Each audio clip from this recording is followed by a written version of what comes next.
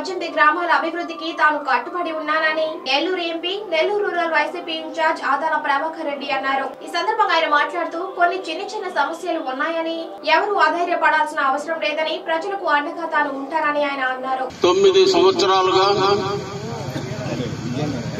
మీకు శాసనసభ్యులుగా ఉన్నవారు ఏం పనిచేశారనేది మీ అందరికి కూడా తెలుసు. నేను పద్నాలుగు నుంచి పంతొమ్మిది వరకు ఈ ప్రాంతంలో ఇన్ఛార్జిగా అన్ని గ్రామాల్లో కూడా సిమెంట్ రోడ్లు వేయించాం. మంచినీటి వసతులు కల్పించాం.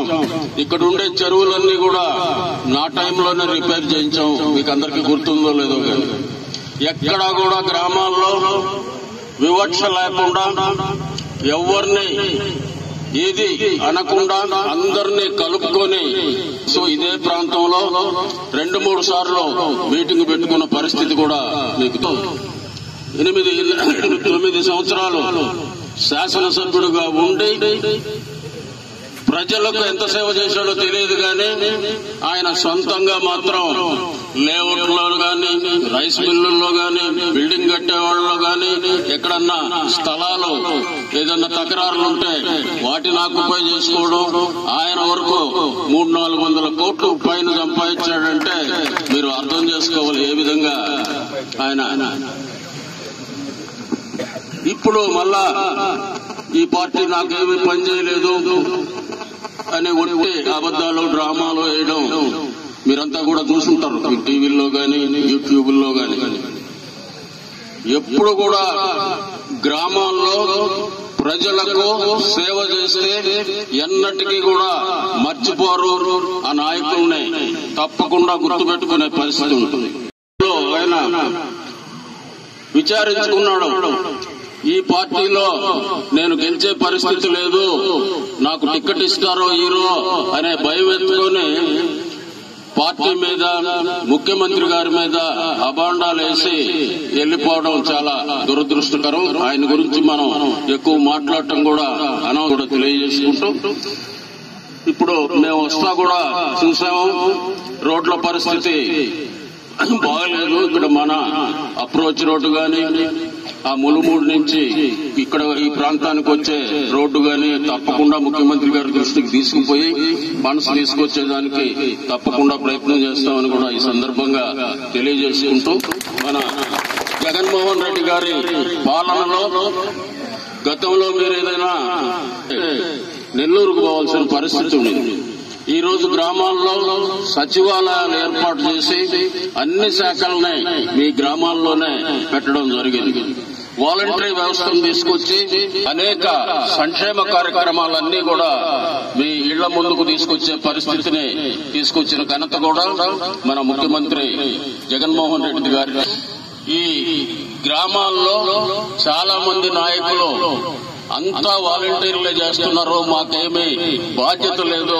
మమ్మల్ని కూడా బాధ్యులను చేయాలని చాలా మంది మాట్లాడేవాడు ఇదంతా కూడా ముఖ్యమంత్రి గారి దృష్టికి తీసుకుపోయి గ్రామంలో గృహ సారథులు అని చెప్పి కొత్తగా ఒక్కొక్క వాలంటీర్కి ఇద్దరు చొప్పున నియమిస్తున్నాం. మీరు ఎవరికి ఇంట్రెస్ట్ ఉంటే వాళ్ళు పాల్గొనవచ్చు పెన్షన్లు ఇచ్చేటప్పుడు మీ ప్రాంతంలో మీ మీ వీధిలో ఇచ్చేటప్పుడు నాయకులు మీరు కూడా పోయి ఆ ఒకటి రెండు మూడు తేదీల్లో పెన్షన్లు ఇచ్చేటప్పుడు మీరు కూడా పాల్గొనవచ్చునని పాల్గొనమని కూడా మీ అందరికి కూడా తెలియజేసుకుంటూ ఇంకా చిన్న చిన్న ప్రాబ్లమ్స్ ఉన్నాయి ఇక్కడ. ఈ ప్రాబ్లమ్స్ అన్నింటినీ కూడా అటు జిల్లా పరిషత్ నిధులు ఇటు మా ఎంపీ నిధులు కూడా ఎక్కువగా ఈ ప్రాంతానికి ఈ పద్దెనిమిది గ్రామాలకి కేటాయించి ఈ ప్రాంతాల్లో ఉండే చిన్న చిన్న సమస్యలన్నింటినీ కూడా పరిష్కరించే దశగా దిశగా మేము ప్రయత్నం చేస్తాం.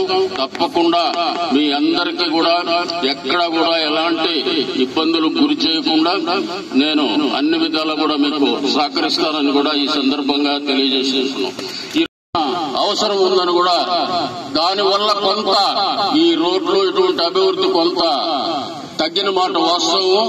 తప్పకుండా ఏదో ఒక రూపంలో నిధులు తీసుకొచ్చి ఈ రోడ్ల కార్యక్రమాన్ని కూడా వీలైనంత త్వరగా పూర్తి చేసేదానికి ప్రయత్నం చేస్తామని కూడా తెలియజేసుకుంటూ ఈ రోజు గ్రామాల్లో గతంలో స్కూల్స్ ఏ విధంగా ఉన్నాయి ఇప్పుడు ఏ విధంగా ఉన్నాయి సచివాలయ వ్యవస్థ ఏ విధంగా ఉంది వాలంటీర్ల గారు కూడా ఒకసారి ఆలోచించాలి.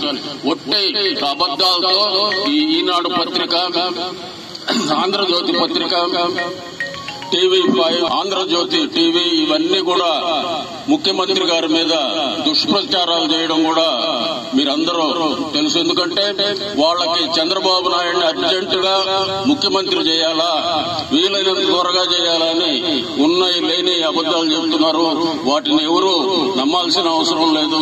మీ కళ్ళ ముందే మీకు అందరికి కూడా తెలుసు కాబట్టి మీరందరూ ముఖ్యమంత్రి జగన్మోహన్ రెడ్డి గారిని మమ్మల్ని ఆశీర్వదించండి. మీకు వెన్నంటి ఉండి మీ అన్ని కార్యక్రమాల్లో మేము పాల్గొని మీకు చేదోడు వాదోడుగా పనిచేస్తామని ఈ సందర్భంగా తెలియజేసుకుంటూ సెలవు తీసుకుంటున్నాం.